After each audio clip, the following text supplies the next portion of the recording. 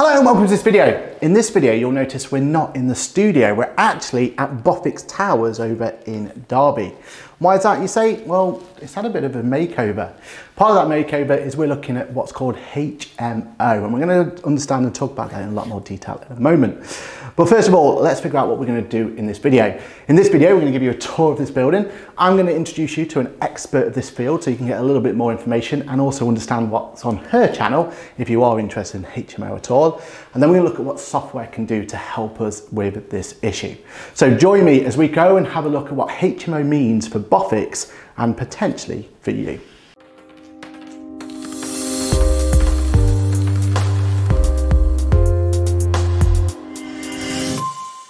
Hello, my name is Aaron Patrick. I am a chartered accountant, a certified UK trainer, that QuickBooks chap on the internet, and also head of accounts here at Boffix. Now, in today's video, we're going to be talking about HMO. What does that stand for? Well, we're going to get an expert in to tell you exactly what that means. Speaking of the expert herself, let's introduce the one and only Kimberley Shapcott. Hello, Kimberley. Hello, Aaron. And in this video, we're going to be talking about the words HMO. Now, when I first started, I had no idea what it means. Do you want to give the audience a bit of an insight on what HMO stands for? So, HMOs are houses of multiple occupation. And you might still say, what the hell does that mean? Well, that means that you've got a property, but instead of just renting it to one person or one family, you're now renting each individual room to a separate person. So now a four bed house becomes a four separate tenancy house. So you've got four individual people who are not connected by any measure at all. So it's great for income because you generally are going to find you get a little more. But I think HMOs are becoming really popular, haven't they? Especially how you were describing it about converting some sort of residential property into multiple residential pro properties essentially. Why do you think that's so popular at the moment? Well, one of the reasons that people go down a HMO route is definitely to do with the cash flow. Because if you've got a property, whether it be a house or a flat, and if you just rent it to maybe one family for £600 a month, that's great, that's your income. But if you've got a house where you could maybe have four rooms that you're letting out, well, that £600 could suddenly be £1,200. So the income you're getting from the property is a lot more. Now, I'm not saying that you're going to get all that money. Don't think that for a second, because unfortunately, there's probably a few more costs. But generally, you may find that you're actually better off and getting more profits, and more cash flow by letting it to more people. Exciting. All right, I think we should have a tour of this building and let us know a little bit more of those little insights there. Let's have a look. Okay, Kimberley, so you mentioned how we convert various rooms into other rooms, and this is an example of what we're doing here. So to come in here, as you can see, excuse the echo, um, you'll notice that we've kind of converted it from an office space, and I'll put some photos of what that office space looks like, and now we've got this room just here. Can you explain to them what sort of challenges and everything else and what they need to think about if they are going to convert a big room into lots of little rooms? Well, the key thing for most spaces is room size. For yeah. HMO, there are defined spaces, minimum size standards. So for any HMO, you've got to check that you've either got 6.4 or it's around 8.5 okay. metres square. Need to check on your area because different areas of the country do have slightly different minimum yeah. standards, but there is a nationwide minimum that you have to have in rooms. And you've also got to watch that for things like if you've got cupboard spaces, then that might not count towards it yeah. if it's built-in cupboards, whereas if it's a wardrobe in a room, you would count the space. So there's certain very techy details there. Not too difficult, but if you get it wrong, yeah. it can be a problem. And with some existing properties, you do sometimes find that where you've got three good sized rooms and one nursery room, I think yeah. they always tended to call them, those smallest rooms may not be of the minimum size. So if you do get to a licensing point of view, you may not be able to let that room. So you've just got to watch what you are buying and what your plans are to make sure you don't find it doesn't fit the criteria. All right, so you mentioned about the fact that this could be quite a costly exercise and, you know, it's all about making profit and everything. How are you making sure that your clients are keeping on top of their costs and their projects to make sure that they are actually making money out of this and not just spending money willy-nilly? Well, obviously one of the key things to any build is finding a good builder and finding someone who you can work with and talk and communicate with well. And that's kind of going to be one of those key areas of making sure you're getting the right yeah. person involved. But obviously, as well as getting the right person involved, yeah. you need to keep track of what you are actually spending. So the key thing there is making sure you're finding the right sort of software that is actually going to keep track of what you're spending, how you're spending it. And I know with a lot of the softwares we talk about and have talked on different videos on your channel, on my channel, that if you find the right software, you can get bank feeds set up, you can get photos of the invoices, so it really does make it as straightforward as possible to keep on top of your costs because obviously with any project this sort of scale that we're looking at, and even a smaller project like the ones I'm doing with seven bed conversions, it costs quite a bit of money to do these things. You don't want to be spending even more than you need to on them.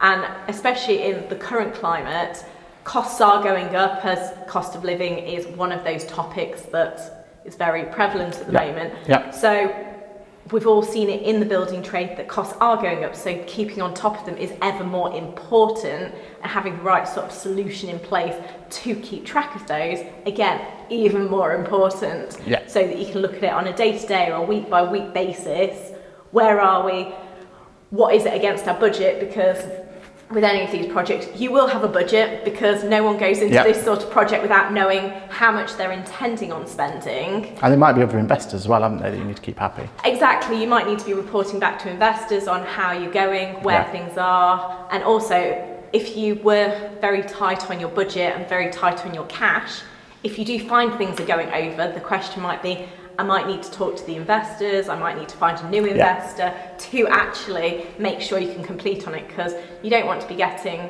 90% through a project but you can't finish it because if you don't finish it, you're not going to get any income, exactly. so you're not going to pay for it. And speaking of income though, like you can see around us now, we've got all these multiple rooms, we've got a bathroom, we've got a kitchen area and all this sort of thing here. So realistically, what we want to be doing here is thinking about cost centers and making sure that, you know, if room five over here, for example, is late on the rent, that we can look after their rooms. And maybe if room six has had an additional cost this month, maybe we want to be making sure of it. How do you go about making sure that, especially on something of this scale, that you're recording those individual aspects? Because it's not just the whole building, is it? It's all those individual sections. The nice thing about some of the software that we do work with, which are things like QuickBooks, Xero, Hammock, all these different ones that are out there is I know with one of mine, I do it on a room by room basis. Yeah. So we've got one property in there for a location, and then our classes are every individual room. So the benefit of having that sort of thing in place means that I can actually do very granular reports to go down to the nitty gritty of, right, which room has made what money for me? So what rent have I got? Is there any specific expenses? So there might be repairs in that room and I put it to that room. Other household things, we just have a general account so that you know what the overall cost of the property is. But then I can be seeing those fine details, which, especially if you've got properties, which I've got properties with eight rooms, seven rooms, six rooms, five rooms, quite a range in our portfolio. You do want to be knowing exactly what um, it is and how it fits together because that will obviously make sure that you can manage your portfolio and see what's working and what's not working. It may be that the property's working but there's one particular room that just never seems to have anyone interested in it. And it may be you need to redecorate that room or do something. It may be it's too noisy, you need to get some soundproofing because it might be too noisy with the neighbour. There's all sorts of things that could be happening with these things. But if you don't know that you've got a problem with that specific room, you might think, oh, the property's not performing. No, it's not the property, it's a specific room yeah. that might not be performing. So there's quite a lot of information you can get using the right software. Okay, this room we're in here is a great example of how, in theory, it sounds like this is money for a rope. Like it sounds like you're taking a room or a building and you convert it into multiple buildings and you're going to earn more money per building.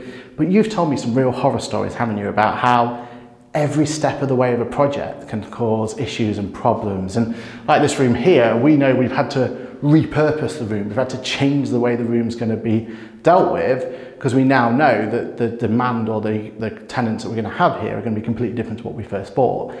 Is there any kind of tips and tricks you can give people? I know your channel kind of covers it a lot of it, doesn't it?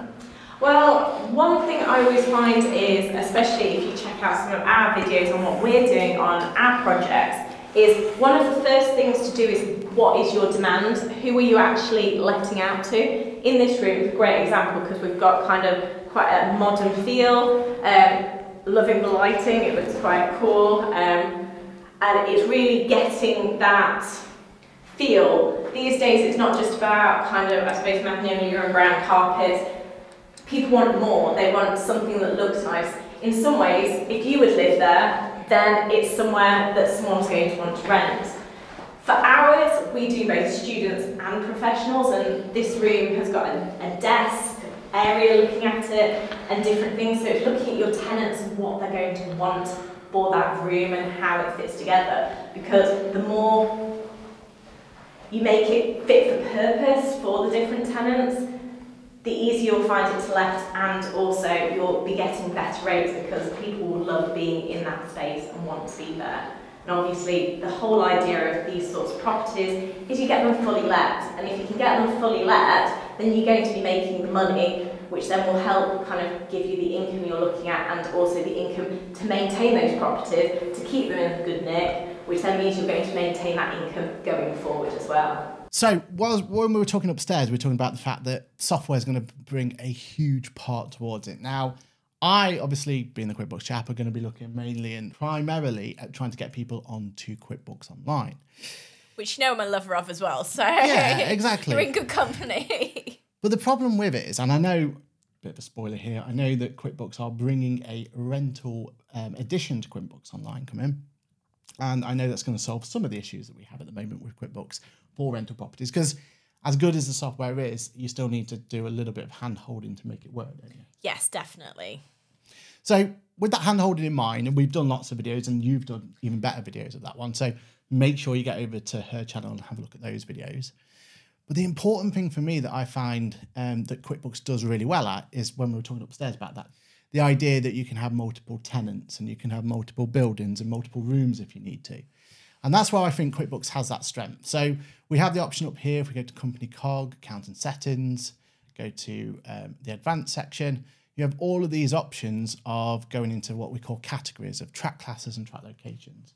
And that works well, doesn't it? It does, and I think the track locations works well for the property itself, and then the track classes can work really well for the rooms if you want to go to that granular detail, which for HMOs you will, for buy to lets, if you're sticking with slightly simpler projects, you're probably good with just the locations, but it definitely is um, a great way of doing it. And I know on my channel there's a video on how to be using that side of things with um, QuickBooks for properties. Brilliant. Now, the other thing about QuickBooks as well is the fact that we get to use customers and sub customers. So we do know that from time to time, if you jump into the customers area, and you've got these customers we've got here, you then have the opportunity to add a sub customer. So maybe in this Austin property one that you might want to say, right, let's create a new customer and let's say it's room 101. And then that way we can make it as a sub customer. In fact, we'll do it as Applecore this one and press save and then you can continue that side of things as well. So you do give you that opportunity to run and be able to keep an eye on and look at different elements that are going through the different rooms. Which that would be great to keep track of arrears and things like that. So you'd be able to put on the invoices or the rent each month, and potentially, if you know you've got a tenancy agreement for the next 12 months, you could put on your next 12 months invoices so that as the rent does come in, they could be matched. I have some people who want to do it that way, others just do it from the bank feed and put it to the property. But there's quite a lot of options, which is obviously what we like to see. And then you can figure out exactly the best way to do it for how you want to manage your property company. Definitely. Now, we're not going to go too much into it now, but there has been some big news about the word word of MTD, making tax digital. And now that's going to affect mental, especially a project like this where there's potential that there's going to be more than one person that you're going to have to report against. There's been big news from HMRC about how that's going to happen. And on QuickBooks, you know you're going to be supported. You know you're going to have that MTD side of things. MTD is going to be up and running on QuickBooks. I know. Check out the videos on what MTD is and how it all works for landlords and property owners on my channel. But yes, I think QuickBooks, we are both confident. 100% that it will be able to tick the boxes to fulfill those requirements, aren't we? Exactly. And as you were saying upstairs, QuickBooks has all the tools to make it really easy. So we've got the ability to add in opportunities here and make it so it's really simple for us to actually work with our clients in terms of adding their bank account and be able to use your phone to take mileage and be able to take photos. And the reporting side of things is really powerful as well. So set up correctly, QuickBooks is an amazing solution for for clients.